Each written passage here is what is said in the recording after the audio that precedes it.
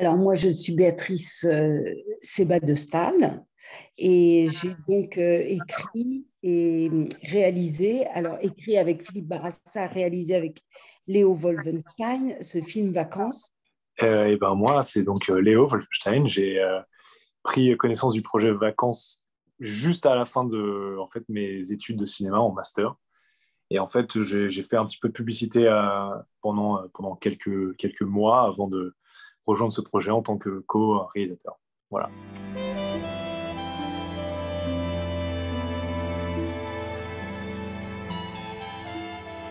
Ça, c'est vraiment le, euh, un des trucs les plus durs. Donc, je vais essayer de te laisser le faire, euh, Léo. Voilà.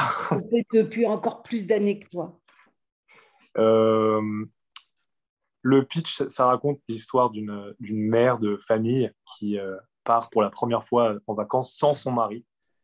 Et on, sent bien qu'en fait, elle se sent égarée à l'abandon et elle se laisse emporter dans une, dans une aventure avec un, avec un jeune homme et euh, malheureusement, euh, cette aventure tourne au, cauchemar. Et c'est un, cauchemar dont elle, doit se, comment dire, elle doit se débrouiller pour, euh, pour se sortir de là pendant donc, tout le reste du film, en étant donc seule en vacances, sous le regard de sa famille et évidemment de, en plus des, voisins, de, village auquel elle va. Donc, c'est l'histoire de, quelque chose qu'elle doit cacher. et c'est, je pense, aussi une histoire d'une d'une forme de, libération de cette femme à travers cette, euh, cette aventure un peu, euh, comme on avait, dit ça, extraordinaire euh, du quotidien.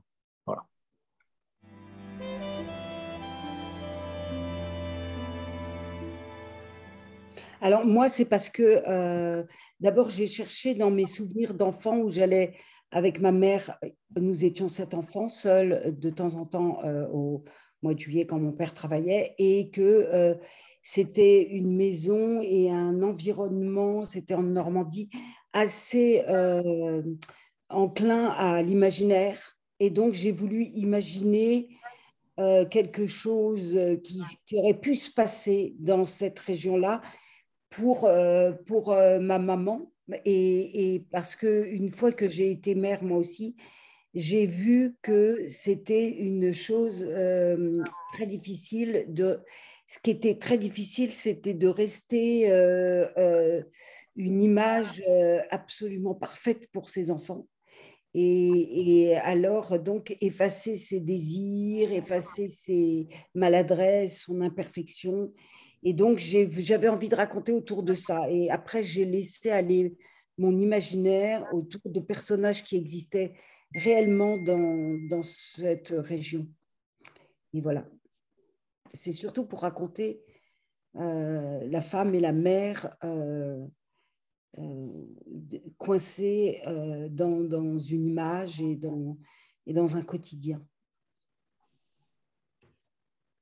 Et pour le, pour le film, le, le filmer, bah déjà, bon, moi, je n'étais pas à l'origine du projet, mais quand on m'a parlé et que j'ai pu lire le, scénario de l'époque, d'ailleurs, je pense qu'il y avait tout de suite aussi une volonté de faire un film qui était très euh, particulier parce que c'était un, un, peu un conte. en fait, euh, il y avait une envie de réalisation euh, qui n'était pas, comment dire, naturaliste. Il y avait quelque chose, un vrai désir de faire quelque chose de, de comment dire, de, de faire quelque chose d'affirmé au point de vue de la couleur, au point de vue de, de des plans qu'on pourrait faire, au point de vue de, certaines séquences particulièrement montées. Et donc, je pense que le, le côté euh, fable ou conte s'appropriait, enfin, s'appliquait très bien à ce, à ce film, à l'histoire de cette maman et euh, dans ce pays un peu euh, étrange, mystérieux et en même temps très poétique. Donc voilà, c'était aussi ce qui nous a, je pense, motivé à faire quelque chose de d'assez affirmé, presque au bord d'un film de, de, genre, mais en tout cas, c'était l'ambition de faire quelque chose de particulier.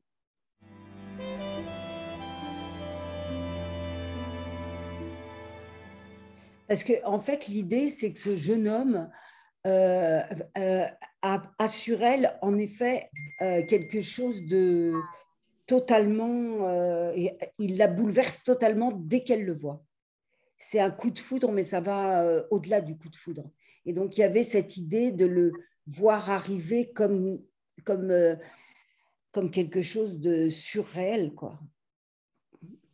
Complètement. Et d'ailleurs, ça se continue euh, après dans le, dans, le, dans le reste du film. On a, on a essayé de faire un, un personnage comme ça qui pourrait être euh, euh, une sorte d'apparition, un peu un espèce d'ange démon à la fois. Et on a beaucoup travaillé sur les, les, nuits dans le film pour leur donner un aspect justement non réaliste. Et les nuits, c'est quand même beaucoup le, comment dire, c'est, le, le, terrain de prédilection, on va dire, de, ce personnage. Euh, mais effectivement, on a, on a, on a voulu que c'est un, un, goût de surréel. Et euh, il y a toujours les deux versants, le côté euh, peut-être un peu plus effrayant et le côté aussi plus poétique.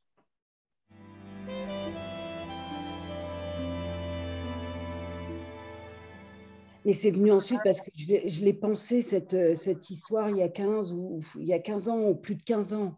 Donc, ce n'était pas encore d'actualité de parler de ça. Et même, je trouve qu'elle n'était pas complètement d'actualité parce que ce qui serait d'actualité, c'est qu'elle se batte entre un boulot et là, elle est mère au foyer, ce qui est vraiment rare. Et, et donc, c'est ce qui est d'actualité, c'est la violence des hommes, en fait, c'est euh, avec les femmes, euh, que soit mentale. Et, ça, euh, je ne m'étais pas rendu compte moi-même, même, que ça existait autant que ça. Quand je vois aux informations, enfin, quand je vois le nombre de femmes qui sont prises comme ça, je n'en reviens pas. Je ne je, savais pas que ça existait, en fait. Je croyais que c'était vraiment quelque chose de, de rare. Et donc, euh, en faisant ce film, je pense que euh, c'est quelque chose que j'ai dû ressentir dans, dans les rapports euh, hommes-femmes, mais sans que ça soit dit très clairement. Mais je pense que oui, il y a du, y a du travail. Hein, je ne sais pas comment ça se fait, que ça se passe comme ça. En tout cas, moi, c'est ce que je vois autour de moi. Et, et dans, dans l'actualité, euh, voilà. Mais, euh, mais ce n'était pas voulu. On pourrait dire que ça tombe bien. C'est triste nouvelle quand même, mais après, euh, ce qu'on ce qu'on ce qu'on avait déjà dit, plus ou moins, c'est que c'est pas non plus un, un film qui fait qui, qui, essaie d'être généraliste et, de dire voilà c'est comme ça que sont tous les hommes et comme ça que sont toutes les femmes c'est aussi pour ça qu'on a pris le parti de faire quelque chose de, euh, bah, de surréel. Euh, c'est vraiment l'histoire de cette femme et de cet homme euh, qu'on a rendu un peu, je trouve, on les a poussés à bout. mais voilà, c'est pas non plus. C'était aussi important de dire on fait pas le portrait de tous les hommes et toutes les femmes.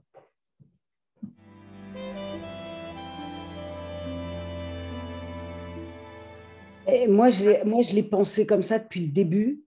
Et je pense euh, que du coup, c'est pour ça qu'il y a eu beaucoup de difficultés euh, à, ce que les financiers et les télévisions comprennent ce, euh, ce qui passait là.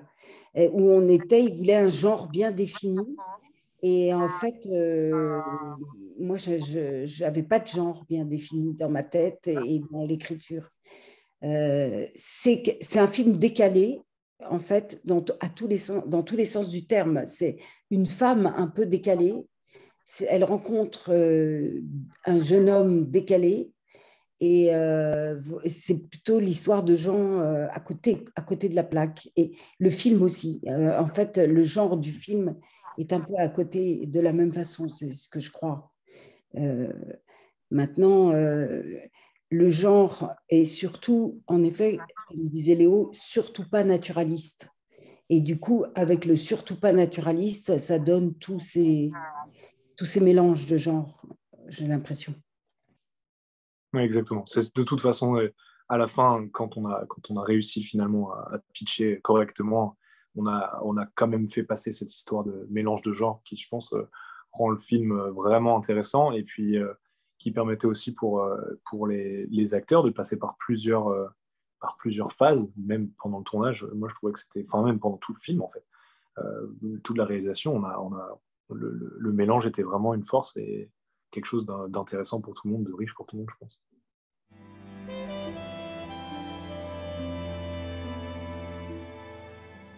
Oui, c'est assez intemporel, oui, c'est vrai, complètement. On, a, travaillé un tout petit peu sur voilà, donner quelques indices. Je crois qu'on nous a dit bon, il faut qu'il y ait des téléphones portables quand même pour qu'on repère que c'est pas non plus 1970. Donc on a inclus ça, mais vraiment, c'était pas le, propos de dire voilà, dans tel endroit en France, il y a ce genre d'histoire. Je pense que Béatrice voulait depuis le début faire quelque chose d'universel, d'intemporel. et donc, c'est aussi comme ça, on a délibérément caché où ça se passe vraiment, etc. Au départ, au départ, je pensais même que ce serait dans les années 70. Et en fait, on m'a dit, oh, mais ça va être compliqué, il faut, tout transformer en années 70. Et du coup, euh, ben, du coup, alors je me suis dit, bon, bah, alors intemporel. On ne sait pas dans quelle, euh, à quelle époque ça se passe.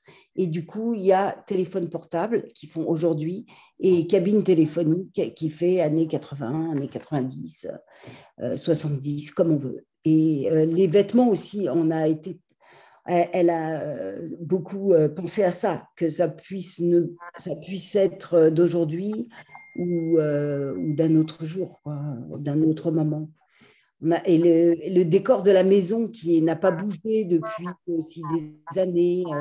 En fait, oui, c'est tout, c'est totalement intemporel, oui, donc comme un conte.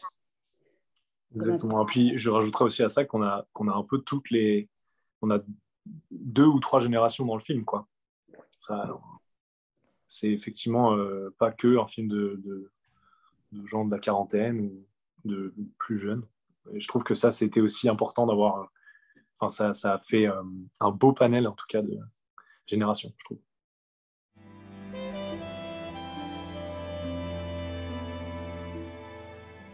C'est le souvenir, euh, c'est le souvenir que j'en avais, euh, mais peut-être qu'ils ne plus du tout en couleur en fait. Enfin, je veux dire, peut-être maintenant ils ressemblent à pas à des gens euh, enfermés dans leur campagne. Donc c'est vrai que c'est ça aussi, c'est pas réaliste du tout. C'est c'est vraiment ça sort de d'un imaginaire, mais euh, ce n'est pas, pas une réalité. Euh, là, je suis à la campagne, personne comme ça. Hein. Donc, c'est sûr que ça, c'était quand j'étais jeune. Et donc, euh, ça fait rien. On peut, on peut donner aussi un témoignage de ce qu'on a vu, de ce qu'on a vécu il y a très longtemps. Et c'est pas, j'espère que ce n'est pas offensant pour les, pour les gens de la campagne, parce qu'à l'époque, c'était à l'époque c'était comme ça, vraiment, les, les gens ils ne dépassaient pas les 20 km de, de, de, de, route, et donc du coup, ils connaissaient rien et ils avaient quelque chose de très, de très campagnard. C'est vrai qu'aujourd'hui, ça ne ressemble pas à ça. Ils voyagent, ils sont en vacances en Grèce, enfin, ça n'a rien à voir, mais donc c'est c'est vraiment pas réaliste c'est pas réaliste. Ce qui est réel, c'est les sentiments. Euh, les sentiments, le, l'amour aussi.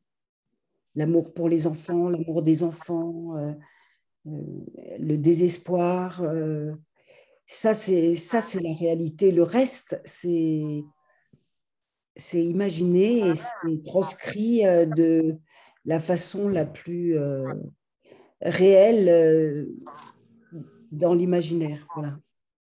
Euh, moi, je voudrais, je voudrais rajouter que Valérie et, Serge, euh, donc, qui jouent les couvrons, ont vraiment pris à cœur leur, leur rôle et je, trouve qu'ils ont et rajoutent justement une touche d'humour, je pense quand même dans ce film, d'humour et, d'amour aussi, donc leur, à travers leur couple.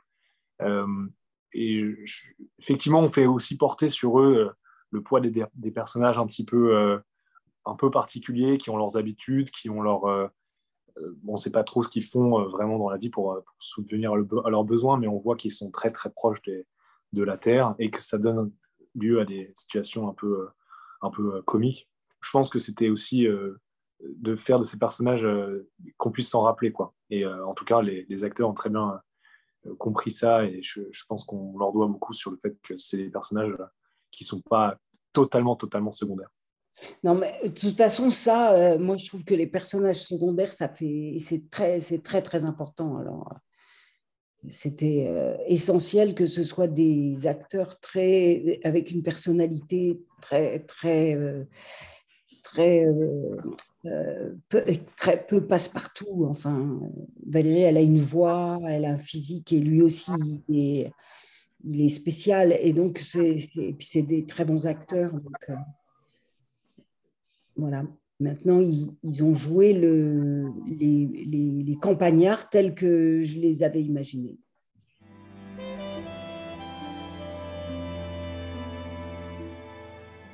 Oui, bah, on, s'est servi aussi du décor de, des paysages parce que l'idée, c'était euh, déjà que le paysage était un personnage en soi, parce que euh, c'est une... Ça ne peut pas se passer euh, dans, dans une ville euh, cette, euh, et donc, euh, parce que dans la forêt, c'est l'abandon, c'est les contes de fées, les grandes plages comme ça, c'est c'est une dimension de, de, perte aussi, de d'abandon. et donc, c'est pour ça qu'on s'est beaucoup servi de ces paysages et qui sont extrêmement beaux et qui font, et qui font aussi dans le romantisme, mmh. pas seulement dans le, dans le désespoir. on, a, on a tourné en automne alors que c'était à la base, on, pensait plutôt tourner en été, mais c'était une très bonne chose qu'on tourne en automne et on a profité des très belles couleurs changeantes de des, landes et de la, fougère, des arbres. Et euh, on a eu une grande chance, c'est qu'en fait, euh, bon, dans notre décor, donc ça, on ne sait pas exactement dans le film où c'est, mais nous, on sait qu'on a tourné dans, les landes et c'est assez interdit en fait de toucher à la, dune. Là-bas, c'est assez sacré. Et on a trouvé, on a, eu l'autorisation pour une seule dune euh, où on a pu tourner une scène très importante de séduction. Et je trouve que voilà, c'est maintenant, je crois, l'affiche du film d'ailleurs, c'est sur cette fameuse dune. Les décors sont importants parce que effectivement, ils, sont une sorte de miroir de l'état d'esprit de, de, de, non seulement notre personnage principal, mais aussi de où est-ce qu'on en est sur cette histoire de mystère et d'amour, de poésie. Et je trouve qu'il y avait vraiment un gros défi de rendre ce décor euh, vivant et d'utiliser tout ce qu'on pouvait, que ce soit les forêts, l'eau, l'eau la nuit, l'eau le jour, la plage. Euh, et puis, il y avait aussi le décor que notre opéreur a trouvé, cette magnifique maison euh, qui était vraiment, je pense, exactement ce, qu'avait Béatrice en tête quand, on, quand elle écrivait ce film.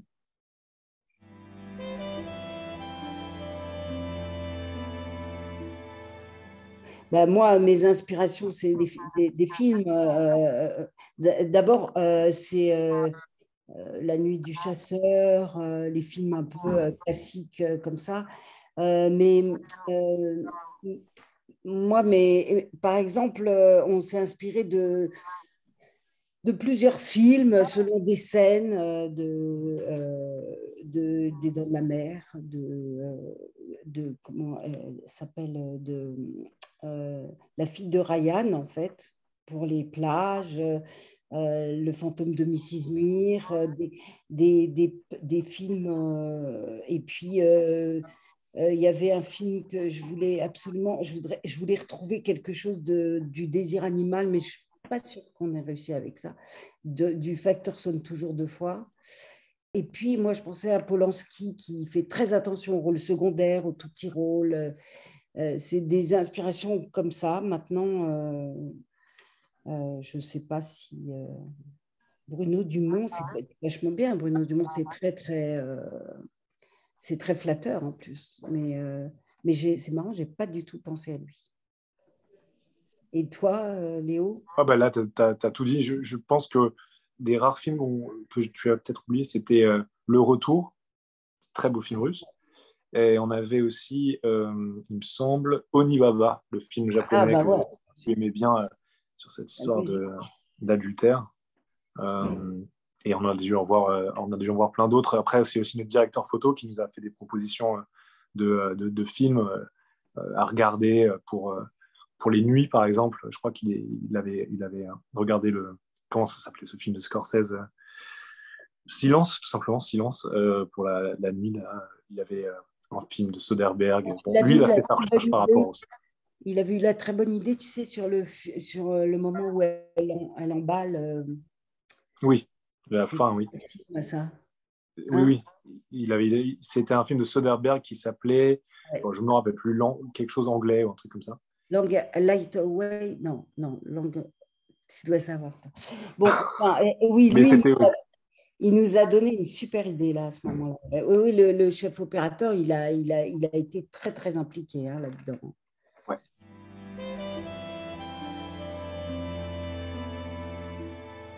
Alors, le, scénario convainquait pas mal les femmes parce que c'est un très beau rôle de femme. Donc, euh, ça, c'est pas souvent. Et du coup, euh, les actrices euh, le lisaient volontiers, réfléchissaient. Donc, on n'a pas. Moi, franchement, je pensais pas du tout à Géraldine Nakache. et c'est son agent qui l'a proposé. Et j'ai trouvé que c'était une bonne idée parce que j'aime bien cette fille et que je pensais qu'elle n'était pas employée euh, totalement là où elle devait et où elle pouvait. Et on l'a rencontrée et elle nous a dit j'ai peur, il faut que je réfléchisse. Et moi j'étais convaincue euh, que c'était la bonne. Et elle a tout de suite dit oui. Et après, elle s'est investie euh, corps et âme dans ce, dans ce rôle parce qu'elle a quelque chose de très grave, cette femme en fait de Géraldine aussi. C'est pas pas quelque chose qu'elle qu'elle euh, qu'elle a inventé, qui est en elle et donc euh, qui a dû lui parler quoi.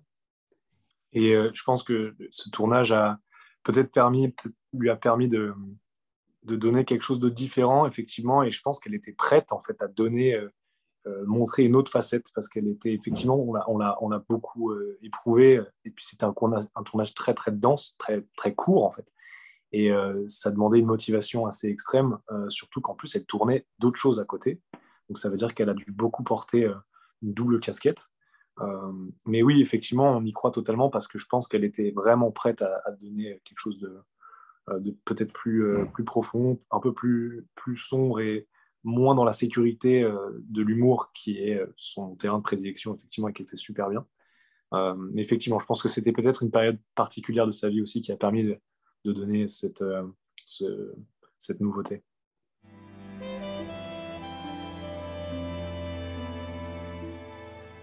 À moi, la pression monte. Hein. Je suis, je suis et très, très, vraiment, je suis très heureuse d'aller à Angoulême et j'ai je serais, encore plus qui plaise euh, le film là-bas. Maintenant, on n'a plus rien à faire que d'attendre euh, les réactions. Et c'est euh, très, très compliqué à gérer parce qu'on n'a on plus aucune maîtrise sur rien. Donc, moi, j'adore ce film. Je suis convaincue qu'il ait réussi. Donc, j'espère qu'il va être compris, vu, aimé et que ça va commencer par Angoulême. Bah, moi, en tout cas, je suis très, très heureux, euh, non seulement pour le film, mais aussi pour, euh, pour Béatrice, puisque bon, je suis, euh, je suis co-réalisateur sur ce projet. Je pense que c'est un beau bébé qu'elle a accouché là en, plusieurs années. et vraiment, Angoulême, j'avais un petit. Comment dire Je me suis dit, c'est marrant, ça me dit, ça me dit bien ce festival, parce que moi, je le suis depuis un certain nombre d'années. Et je suis très très content qu'on ait, qu'on ait cette sélection. Je trouve que c'est un très très beau festival. Donc voilà, j'espère que ça plaira aux gens pareil. Et en tout cas, je suis de toute façon très très heureux pour ce projet et pour Béatrice.